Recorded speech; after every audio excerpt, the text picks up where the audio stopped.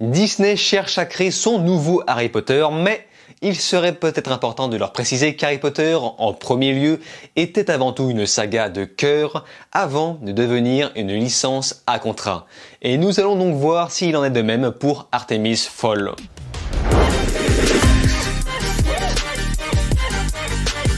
Salut à tous, c'est Vince alias Amir Game et aujourd'hui nous allons parler de Artemis Fall. Ce nouveau film Disney était à l'origine prévu pour le 14 août 2019 et ensuite repoussé jusqu'au 27 mai 2020 pour être finalement totalement annulé en salle afin de sortir directement sur plateforme de streaming Disney Plus le 12 juin. Une bien belle organisation. Enfin bon, Confinement oblige, bien évidemment. Mais quand tu penses que Disney ont repoussé Mulan jusqu'au 22 juillet de manière totalement confiante, tu te demandes pourquoi Disney n'applique pas cette même politique pour le film Artemis Fall. Je rappelle que les cinémas réouvrent le 22 juin, donc à peine deux semaines après la sortie de ce film. On était à deux semaines près, donc ça valait un peu le coup d'attendre, non? Mais à ça, j'ai développé ma propre théorie. Généralement, quand des producteurs déportent un film au cinéma directement sur plateforme de streaming, c'est souvent mauvais signe. Le signe que les producteurs prévoient un futur bid. Ainsi, ils songent que ça ne vaut pas vraiment le coup de sortir le film en salles obscures. Donc peut-être que Disney a prévu un futur bid avec Artemis Fall. Mais ceci dit, je trouve que ça fait du bien enfin de retrouver une nouvelle licence autre qu'un remake parmi tant d'autres. Et ce nouveau titre est donc adapté d'une série d'ouvrages que je n'ai jamais lu et que je ne connaissais même pas. Et à la réal, nous allons poser Kenneth Branagh, un acteur que j'aime beaucoup mais que j'aime beaucoup moins en tant que réalisateur. En effet, derrière la caméra, je le trouve très yes man à la botte de Disney et Marvel. Je rappelle que c'est lui qui a réalisé le premier film Thor ainsi que Cendrillon que je déteste et je vous renvoie à ma vidéo consacrée aux adaptations de Disney. Artemis Fall est donc un jeune garçon de 12 ans doté d'une intelligence supérieure. Il découvre que son père a été enlevé mystérieusement et par la suite il va donc découvrir un monde féerique derrière toute cette histoire. Et c'est en collaborant avec les fées, enfin plus particulièrement une en question, qu'il tentera de sauver son père je crois que j'ai raconté 90% du film. Alors je suis d'accord pour dire que l'univers est intéressant, on pourrait presque croire un genre de Seigneur des Anneaux mêlé à un monde contemporain, mais cela dit, je considère Artemis Fall comme ce que j'appelle le Harry Potter du pauvre. Le film est clairement beaucoup trop court par rapport à ce que propose la richesse de l'univers. 1h30 alors qu'un Harry Potter s'élève souvent au-dessus des 2 heures, et ce avec un meilleur équilibrage. Et d'ailleurs surtout, mais dans Harry Potter, t'as pas de narrateur qui te raconte l'histoire.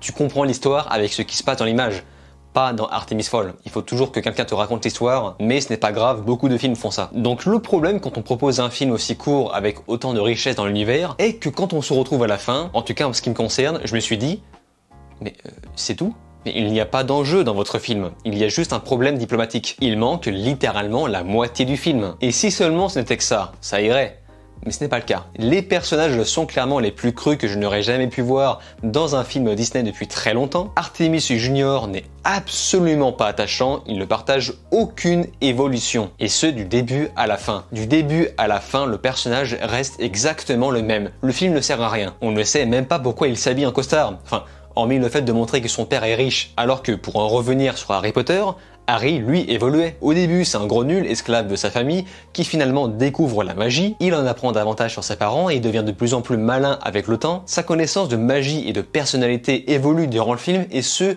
durant toute la saga. Et là où Harry est sans arrêt impressionné de découvrir la magie, Artemis, lui, s'en cogne complètement de découvrir l'univers féerique. Pourtant, au début du film, on nous fait clairement comprendre que les fées n'existent pas, c'est une légende, et même le jeune Artemis ne se doute de rien, et pourtant, quand il découvre que ça existe bel et bien, Osef c'est normal. Et j'insiste avec ma comparaison à Harry Potter, car ces deux films se rapprochent plus ou moins sur leur structure. Ce sont deux jeunes garçons qui vont découvrir un univers magique caché dans le monde réel. C'est quasiment la même structure avec un habillage complètement différent. Et pourtant, Harry Potter était déjà censé être pour les enfants, donc le fait de dire que ah mais Artemis Fall c'est pour les enfants, donc on peut faire un truc moins bien, mais, bien sûr que non Ne faites jamais quelque chose d'inférieur narrativement sous prétexte que ce soit pour les enfants. Et on se retrouve avec le problème suivant, les séquences émotions sont donc désamorcées par le fait que les personnages soient totalement aseptisés. Et pour vous prouver à quel point dans le film on retrouve un personnage nommé Juliette,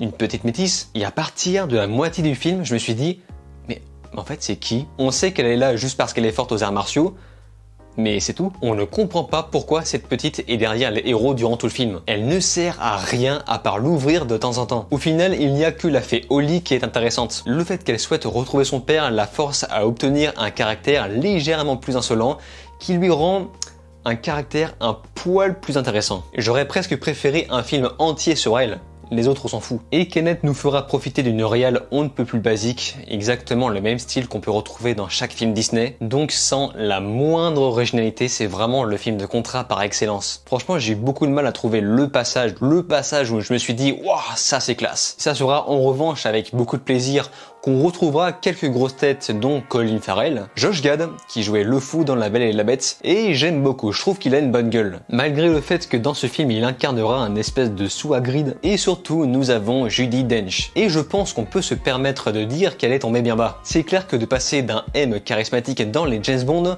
à ça, ça pique un peu. Et ça se voit tellement qu'elle devait se dire putain mais Qu'est-ce que je fais là? Bon alors évidemment, comme dans toutes les productions Disney, on va nous proposer des effets spéciaux assez riches et plutôt réussis, je dois dire, malgré le fait que je ne sois pas vraiment fan du style. On est vraiment proche de quelque chose de très très geek. C'est presque à croire que tout a été pensé pour vendre des jouets. Et c'est exactement le cas avec les costumes. Holly dans son costume de fée avec ses espèces d'ailes mécaniques, j'imagine déjà les figurines avec un bouton qui permet de faire bouger les ailes. Et au même titre que la DA et la Real, Disney nous propose une image particulièrement basique. Sans style particulier, juste des couleurs dans tous les qui pètent. Alors oui, forcément, c'est joli à regarder, mais bon, il n'y a rien qui se démarque. Et surtout pas la musique, hein, au thème quasiment inexistant. La musique générique d'agent secret totalement, mais alors vraiment totalement oubliable. Donc dans tout ça, qu'est-ce qu'on peut dire? Eh bien, ça se regarde ça se regarde. C'est vraiment le film Disney Plus parfait. Sorti au cinéma, j'aurais peut-être été un peu moins indulgent, mais là, si c'est juste pour proposer sur une plateforme familiale pour les enfants, allez, pourquoi pas, ça bouche 1h30 de trou. Mais je ne retire pas le fait que le film soit beaucoup trop court et qu'il va, à mon goût,